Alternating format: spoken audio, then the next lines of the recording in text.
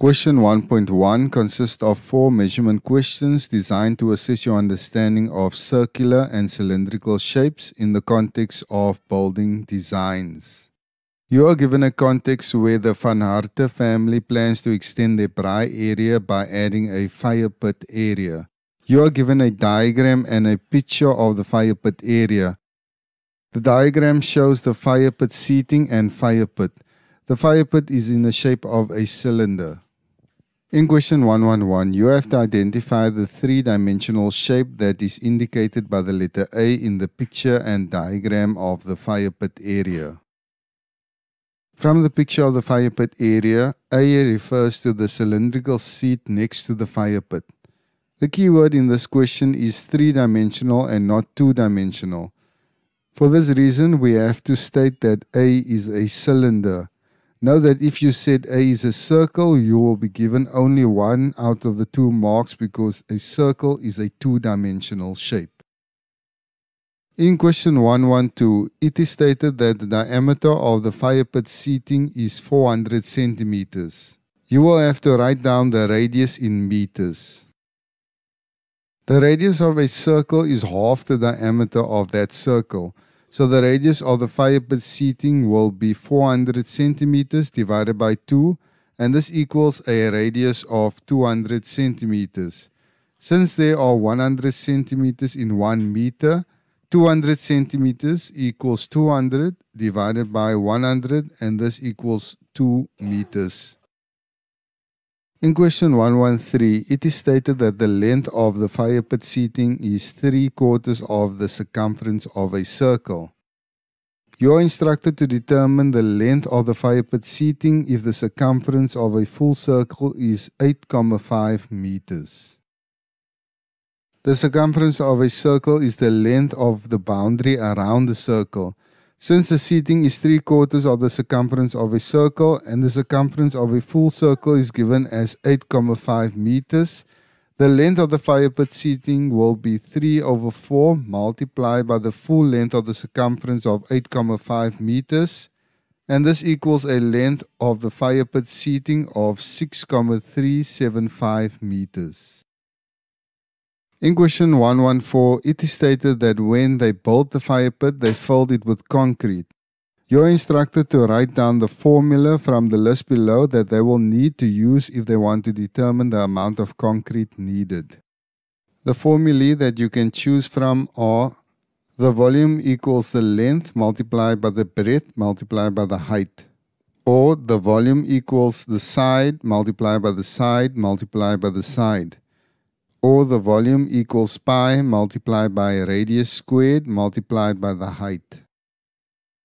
From the list of formulae, the first formula length multiplied by the breadth multiplied by the height gives you the formula for the volume of a rectangular prism. The second formula side multiplied by side multiplied by side gives you the formula for the volume of a cube and the third formula pi multiplied by the radius squared multiplied by the height gives you the formula of a cylinder.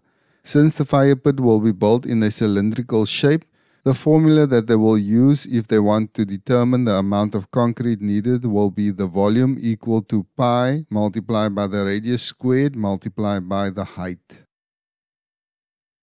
Question 1.2 consists of five questions related to maps and plans, specifically designed to evaluate your understanding of strip charts and map directions. You are provided with a strip chart that shows the route from Durban to Pretoria via the N3.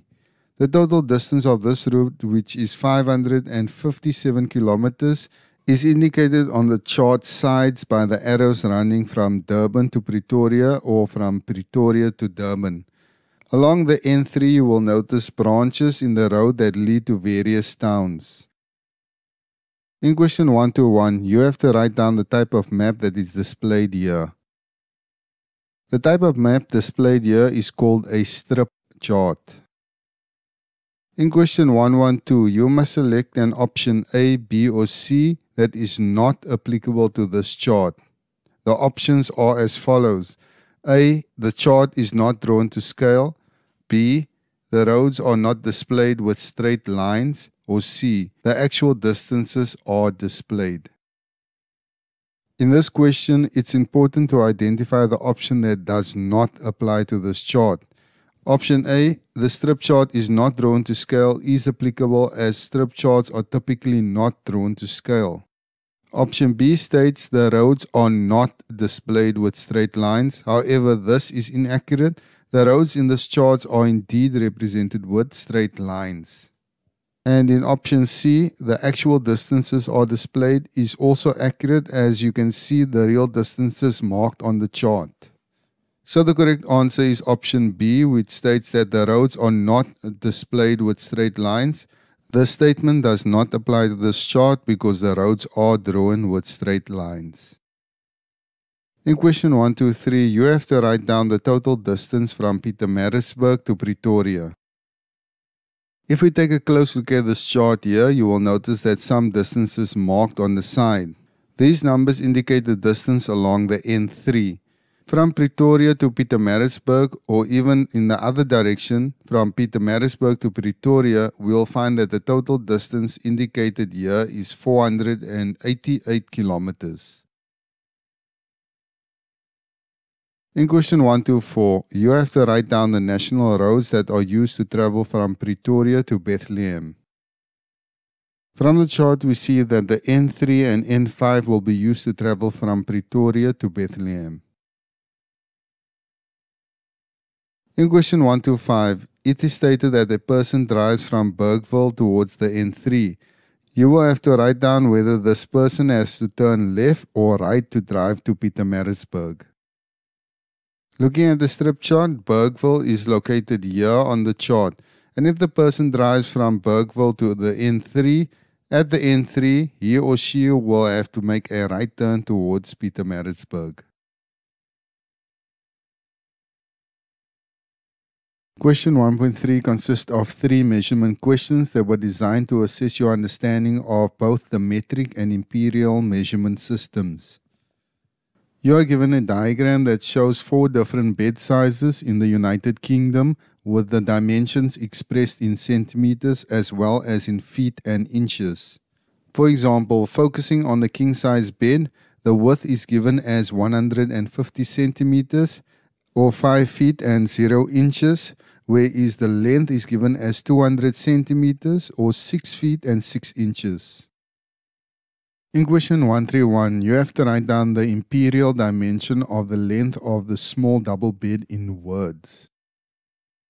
From the diagram, the small double bed is given as 6 feet and 3 inches. So this in words will be 6 feet and 3 inches. In question 132, you have to write down in centimeters the width of a king size bed to the width of a super king size bed as a simplified ratio. From the diagram, we see that the width of a king-size bed will be 150 centimeters, while the width of a super king-size bed will be 180 centimeters. This as a ratio will be 150 to 180. Now using the ladder method to determine the factors of both 150 and 180, we see that the highest common factor between 150 and 180 is 30. So dividing both 150 and 180 by 30 will give us a simplified ratio of the width of the king size bed to the width of a super king size bed of 5 to 6. In question 133, it is stated that a company in South Africa wanted to see if the dimensions are 100% correct and did the following calculations using these conversion factors. The conversion factors used in this calculation were 1 feet equals 30,48 centimeters and 1 inch equals 2,54 centimeters. The calculations were performed as follows. 6 feet and 3 inches equals 6 times 30,84 plus 3 times 2,54 and this equals 185,04 plus 7,62 and that equals 192,66 centimeters. They concluded that 192,66 centimeters is 2,66 centimeters larger than the specified size. You are now instructed to identify the mistake that was made in the calculation. Analyzing the calculation, if we look closely, we see that the mistake made was that they substituted the incorrect value of 30,84 centimeters instead of the correct value of 30,48 centimeters. So we have to make the statement that the incorrect number of 30,84 instead of 30,48 was substituted. Question 4.1 consists of two maps and plans questions that were designed to assess your understanding of assembly diagrams. You are given a diagram that shows step 9 of 10 of the assembly instruction for the Kingsley and Oliver twin bunk beds with a slide. Alongside with the instruction, you are also given the parts and hardware list for the Kingsley and Oliver twin bunk beds. In question 141, you have to identify three parts that make up the slide. From the parts and hardware list, we see that the three parts that make up the slide is the slide board, the slide side left, and the side slide right. In question 142, you have to write down the name of the tool that will be used to attach item 23. From the parts and hardware list, the tool that will be used to attach item 23 is called an Allen key. Thank you for taking the time to watch this video and if you found this video helpful, you can subscribe to be notified of more videos like this and you can check out this video next.